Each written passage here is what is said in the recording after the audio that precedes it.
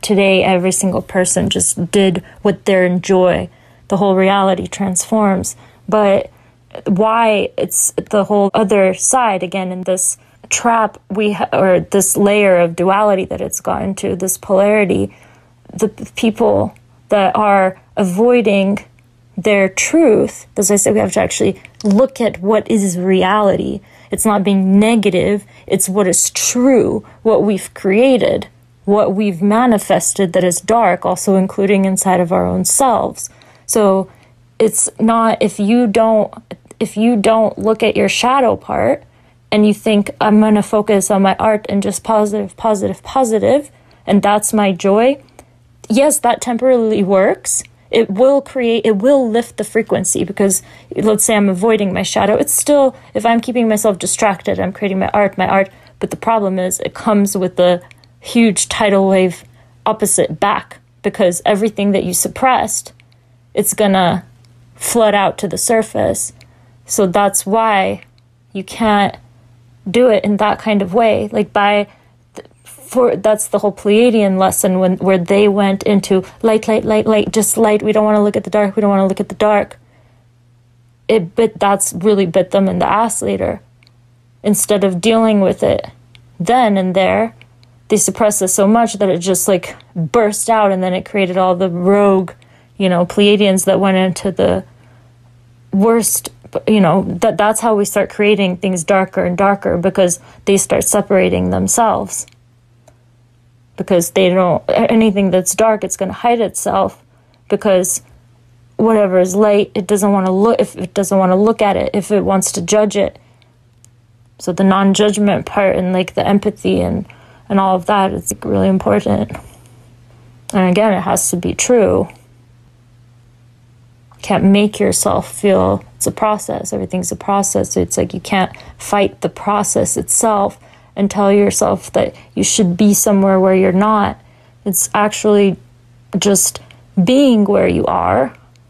Not even, I don't like the word even accepting where I am because that already implies that I have to accept something I'm uncomfortable with. Simply, okay, it is what it is now. Observe both aspects, baby steps, deal with both moving into your joy, but also looking at what is reality. That's the second big part is you have to look at what is reality. What is reality in ourselves in the outside?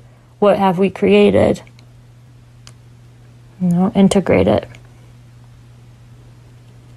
Yeah, so that's the part where it's like it has to be made so clear to you know, people that discover that, okay, we'll just go towards joy, that means I should never look at anything negative. You know, oh no, Holocaust, I can't look at that. No, this is the reality that has been created. We have to understand why. The question why again. Why was that created? Right now, the biggest question we have to ask ourselves is why are their children being trafficked? Not just oh, oh, this is whose fault is it, pointing fingers and even pointing fingers at our own self. This is my fault, I'm guilty, or this is guilty of the. No, we have to understand as a collective how did we create this? Like, that is true wisdom. Again, going back, like, we have to have the whole picture. And the whole picture, it's not the whole picture in the sense of, because the book never ends. Like, the whole picture contains the past, present, future, right? You have access to your future, you have access to your past, therefore, you're creating the now based on that. That is the now. But the book itself, it's expanding, so it's you're never going to have the full full picture of everything and that is the mystery of life that is the you know beauty of the unknown but we can start creating an unknown because it's not the unknown that we fear, it's what we, p- we project onto the unknown because we've been creating so much from not having our full past and future, the, the wisdom, the knowledge, the stories, the lessons. We've been disconnected from that. So that creates the loop. So, yeah, what I'm saying though is that we won't have to fear that unknown because we can have more trust and knowingness of the potentials that we will create. They're not going to be again, you know, it comes into the betrayal thing. It's not going to be blindsiding us all the time because we don't realize that we're creating mostly right now at this point from complete unconsciousness, the uncon- all the subconscious stuff, all the suppressed things are creating the reality instead of us as a the being having the you know the, the story, the past and the future, all the information, the wisdom, which then confidently can create from. And then also, when we have that, automatically we will know that we are not beings that are meant to be isolated and alone. We will understand the collective and why we, you know, should choose to exist. And I say choose because we do have choice ultimately. And we have chosen. That's why this reality is shifting. We're going into a new reality because the collective it has chosen. We have learned that enough of the disconnect, the void, the lies, the, you know, we have to know who we are. That's really knowing who we are so we could keep growing who we are instead of spinning the same story over and over again, disconnected from the truth. But the truth, it's going to hold both fear and love. God contains fear and love. God ultimately is choice, how it's going to see itself with those aspects, how it's going to act. He, she, it, we. All of it's the same thing. We're either a micro piece more divided or more connected. It's all creating together.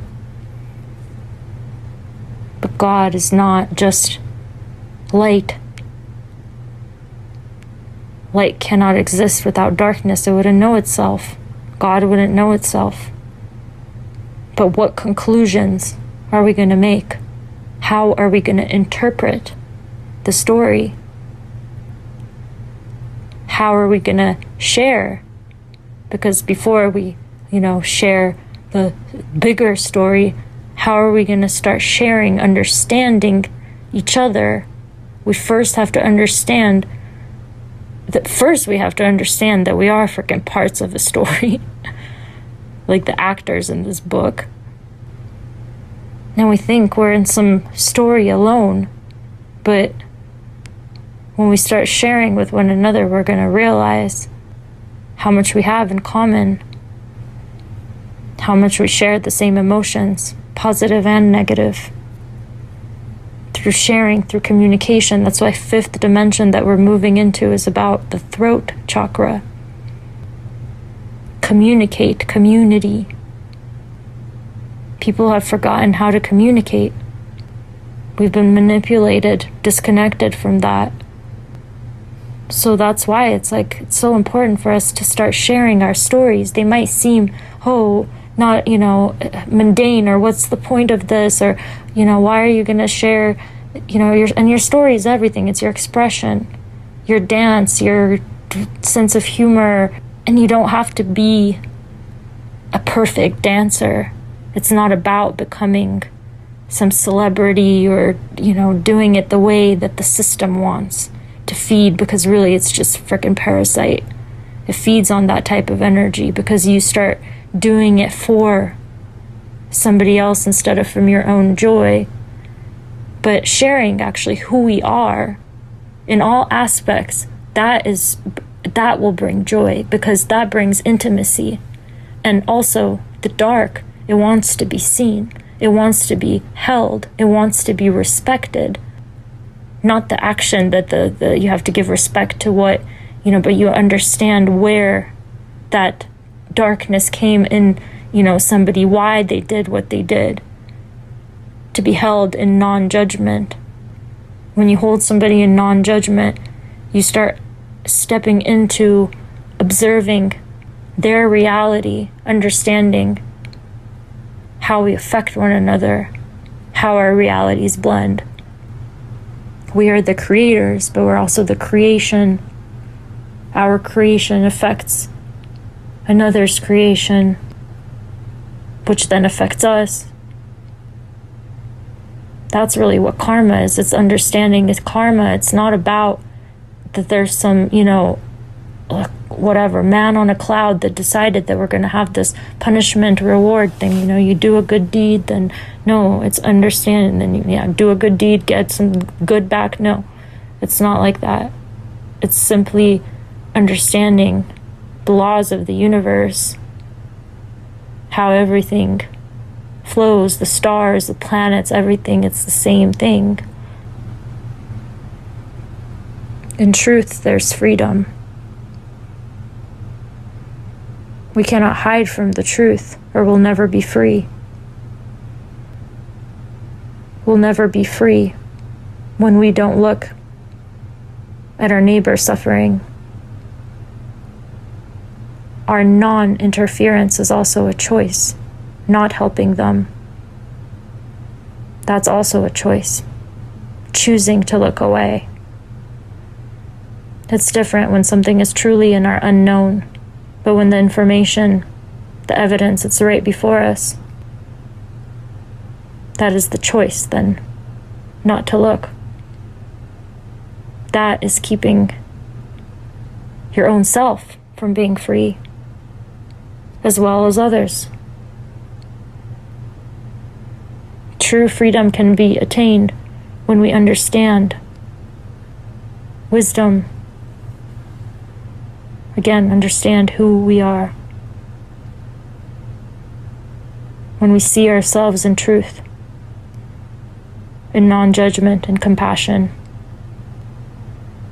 we're together, we choose. Choose wisely. We will be living the dream. We won't have to dream as much anymore we won't have to long as much anymore because we will manifest. Our dream will be right before us. That is also the separation that half our life we sleep. We're melding the two the dreamer, the dreamed. Be careful what you dream the intention that is behind it. Because if you don't understand, again, the story, the truth of this reality, your dreams can also harm.